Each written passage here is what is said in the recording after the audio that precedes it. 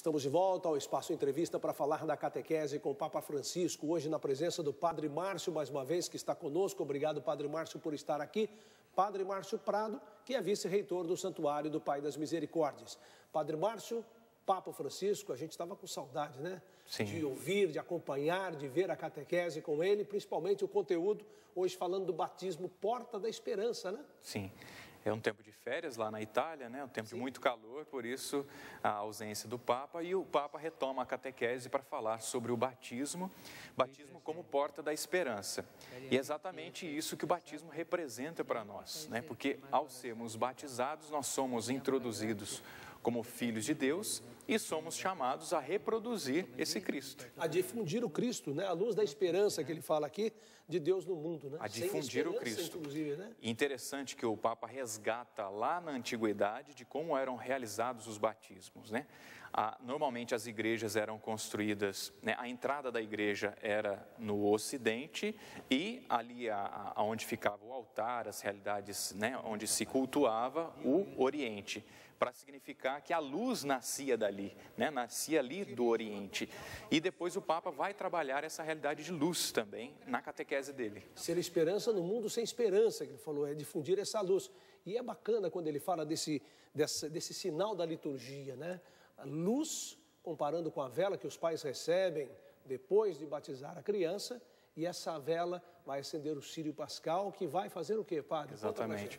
Os pais ou os padrinhos, ou se a, se a pessoa for adulta, ela vai lá, acende a luz no Sírio Pascal, para significar isso. Agora eu sou portador da luz, sou portadora da luz.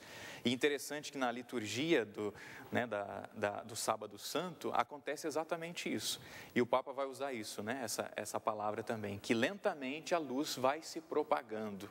Ou seja, essa esperança que vai crescendo também com o tempo e que cada cristão, cada batizado é chamado a ser, e ele vai usar essa palavra bonita, né? Cristóforo, portador da luz, aquele que leva a luz, mas não é qualquer luz, é a luz de Cristo que ele recebeu no batismo ser portadores de luz, da luz de Cristo, mas ser testemunhas principalmente, né? Exatamente, testemunha dessa luz.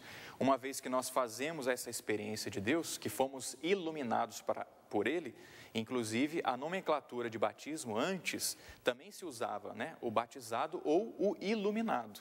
Então, as pessoas que eram iluminadas pela graça de Deus, eram banhadas, recebiam a luz e são chamadas a ser luz, a testemunhar Jesus Cristo. E ele disse que é preciso sempre recordar também o batismo, né? Todo cristão deve recordar o batismo. Isso uhum. é muito importante para nós, né? O Papa Francisco deu inclusive essa tarefa, né? Olha, vocês sabem qual é a data de batismo de vocês?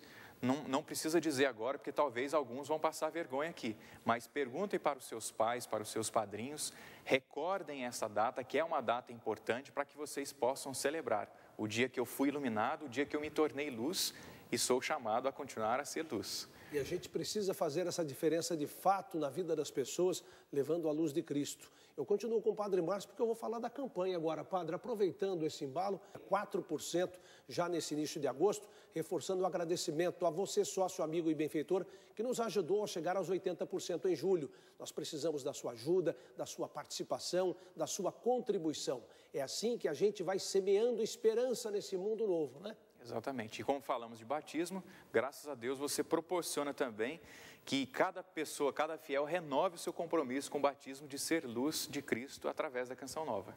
Olha, mais informações acesse clube.cançãonova.com e muito obrigado por sua contribuição. Vale a pena ser Canção Nova. Participe.